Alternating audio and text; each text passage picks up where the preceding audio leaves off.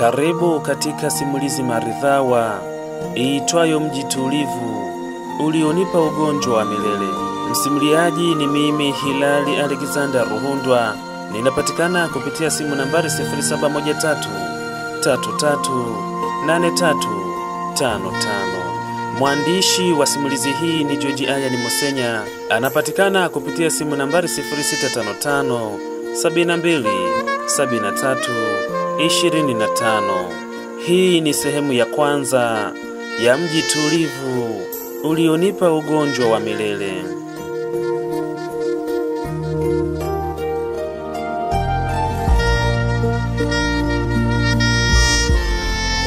Maisha wakati mwingine si jitihada pekee zinazoweza kukutoa sehemu moja kwenda nyingine. Kuna wakati bahati inahusika katika maisha, si kwa wote, lakini mimi nilibahatika kuwa mtoto kutoka familia ya kimaskini ambaye baadaye nilienda kusoma na kisha kupata kazi nzuri ambayo ilinitoa katika umaskini na kunitupa katika daraja la kati na baadaye nikawa tajiri. Nikayabadili maisha ya kizazi changu na kuwaweka katika mirije ya kujiendesha wenyewe. Hadi ninafikisha miaka 30, tayari nilikuwa nimeyaweka maisha yangu sawa, nikiwa nimesaidia ndugu zangu kwa kiwango cha uwezo wangu pamoja na marafiki pia. Baada ya kutimiza ndoto hizi, ndipo kwa mara ya kwanza nikafikiria juu ya utulivu wa hali ya juu niliokuwa na uhitaji na niliwahi kuuota tangu nikiwa nasoma. Nilijiahidi kuwa nitakapomaliza kuinyanyua familia yangu, sasa nitaangalia vyema maisha yangu. Niliwahi kuwa na marafiki wa kike, lakini sikuwahi kunyanyua kinywa changu na kuwatamkia kuwa nina nia ya kuingia nao katika ndoa.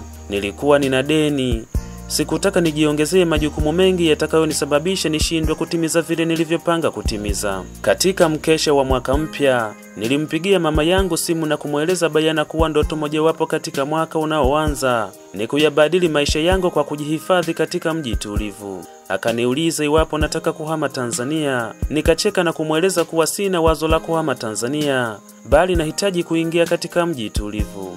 Unataka kuoa eh? Mama aliniuliza.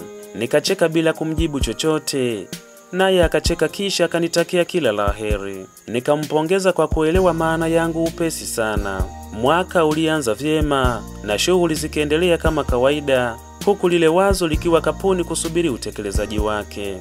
Naomba niweke wazi kuwa nilikuwa aina fulani ya mwanadamu ambaye napenda sana kufanya jambo kadiri ya wakati, maana niliwahi kufanya mambo mengi kwa wakati mmoja na kujikuta nikiharibu ama kutoyafanya kwa ufanisi mambo mengine. Hivyo sikuwahi kupanga siku ya kuusaka mji ule tulivu. Siku hii ikiwa ni miezi miwili baada ya mwaka kuanza, pale ofisini kwetu palikuwa na nafasi za kazi zilikuwa zimetangazwa na watu wengi sana walikuwa wameomba nafasi. Katika ile hatua ya awali ya usaili walifika wasailiwa mia moja na hamsini. Nafasi zilikuwa tano tu zilizokuwa wazi. Katika ngazi ya mwisho kabisa ndiyo ambayo mimi na wakurugenzi wenzangu tulikuwa tunahusishwa, lakini hatua za awali walisimamia wenzetu waliokuwa na vyeo vya chini. Baada ya hatua za awali, hii siku ndiyo ilikuwa ile ya kupata mbivu na mbichi, wasailiwa ishirini wa mwisho. Katika usaili nilikuwa natazamwa sana, hakika sikuwa mtu wa mchezo. Ukifanya vibaya usitarajie kuwa nitakubeba kisa tu u msichana ama umeonyesha huruma ya aina yoyote. Sikuwa mtu wa aina hiyo kabisa, na kilichokuwa kinanifanya niwe hivi ni njia ambazo nilikuwa nimepitia. Hakuna njia ya panya yoyote niliyopitia katika safari yangu ya kimasomo hadi kutafuta kazi, na pia nilikuwa nina hofu na Mungu. Kitendo cha kumpitisha mtu asiyekuwa na vigezo na kumwacha mwenye vigezo kingenisononesha nafsi yangu sana. Katika usaili nilikuwa naogopwa sana. Hata siku hiyo nilikuwa yule yule. Maswali yangu yalikuwa si magumu, lakini yenye mitego. Maswali yangu yakiwa na nia moja tu, kuupima uelewa halisi wa msailiwa. Walipita wasailiwa wote katika hatua ya kwanza, niliwanukuu majina yao. Baada ya hatua zote za usaili kumalizika, hatimaye tuliwaeleza kuwa baada ya majuma mawili tutawapigia simu katika nambari walizotuachia. Tukawaaga wakaondoka. Masuala ya usaili yakaishia hapo. Nikaendelea na shughuli nyingine hadi majira ya saa tatu usiku, ndipo nilifunga ofisi yangu na kutoka nje kuelekea katika gari langu. Nilifungua mlango na kuiwasha gari, nikaiacha ikiunguruma kwa muda, huku nikiwa nimewasha kiyoyozi ili kuleta hewa safi. Mara nikasikia hatua zikijongea nilipokuwa, nikatambua huyo atakuwa aidha mlinzi ama kijana mwingine tu amekuja kuniomba shilingi mia tano. Nikaandaa hiyo pesa ili nisizungumze sana. Sikuwa napendelea sana kusikiliza maelezo yao, kwa sababu huwa wanadanganya wananjaa, kisha ukiwapa pesa wanaenda kujidunga madawa ya kulevya. Samahani kaka, nikaisikia sauti ya kike. Nikageuka upesi kumkabili anayeniita. Sikuitarajia kabisa sauti ya kike muda ule. Sikuwa na mazoea na watoto wa kike kabisa. Mazoea ya kikazi yalitosha kabisa. Nikusaidie nini? Nilimuuliza bila kujibu salamu yake. Naitwa Nyambura Kone. Alijitambulisha jina lake. Samahani, lakini sidhani kama nakufahamu. Nilimjibu huku nikijiandaa kuingia garini ili niondoke. Akajieleza kuwa siku hiyo alishiriki usaili katika kampuni ninayofanyia kazi. Aliposema vile, jina likanikaa sawa kichwani. Anataka kutoa rushwa huyu. Nilijiwazia huku nikimsikiliza aendelee kuzungumza, na hapo nikamwomba ajieleze kwa haraka kidogo. Kichwani tayari nilikuwa nimepanga shambulizi kubwa la kumpa ili nimwaibishe ikiwa atanishawishi kunipa rushwa ya aina yoyote. Tena bora angezungumzia pesa, ila akithubutu kunieleza rushwa ya ngono, hata vibao nitamchapa hadharani. Akajikohoza kisha akazungumza.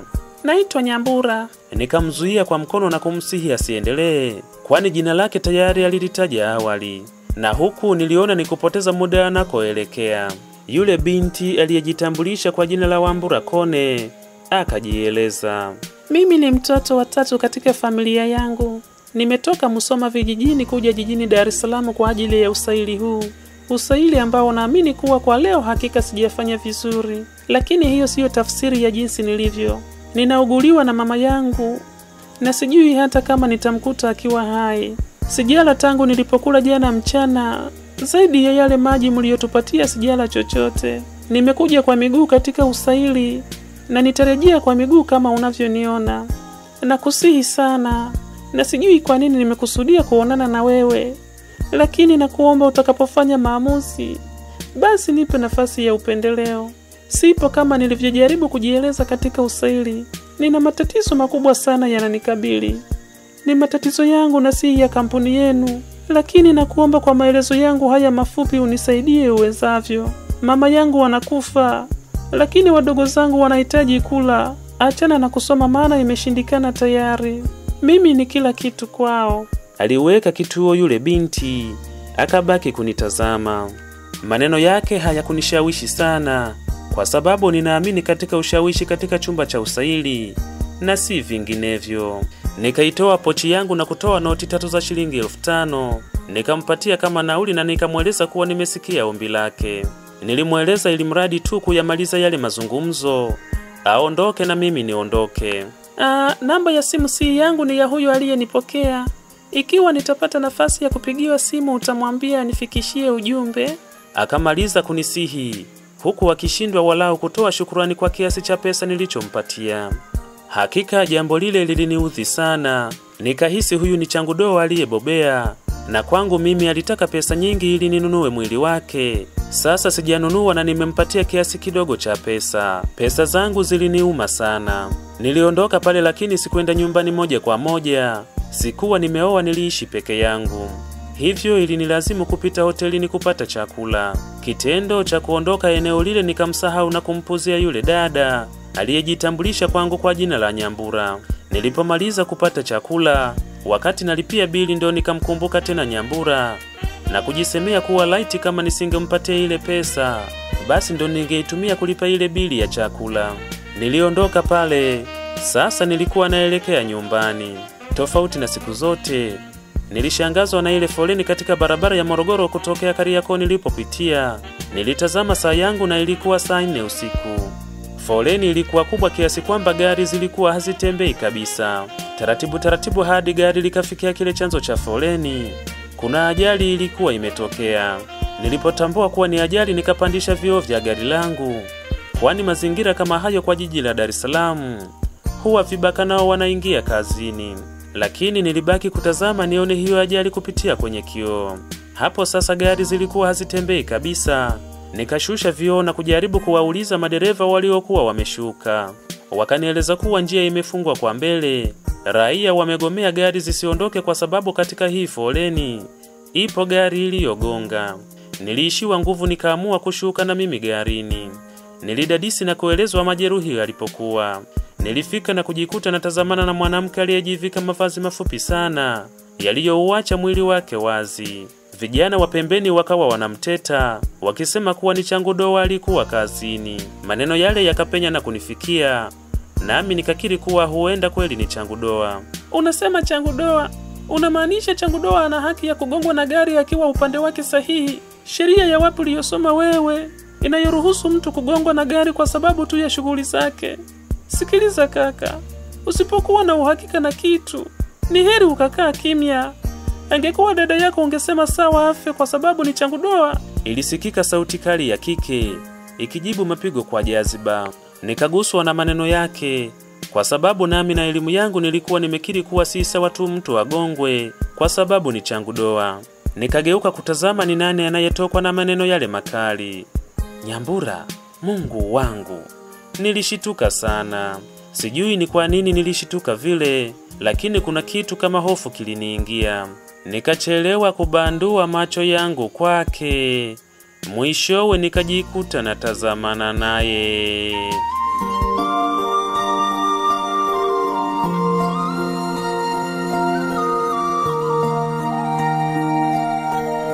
Nakusihi, usimhukumu mtu yeyote kwa sababu ya mwonekano wake, kwa sababu ya kipato chake, kwa sababu ya kabila ama imani yake ya kidini. Fikiri kabla hujatenda.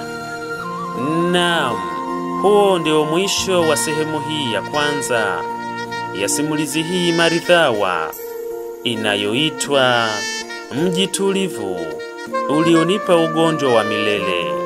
Msimuliaji katika simulizi hii ninaitwa Hilali Alexander Ruhundwa. Ninapatikana kupitia simu nambari 0713 33 8355.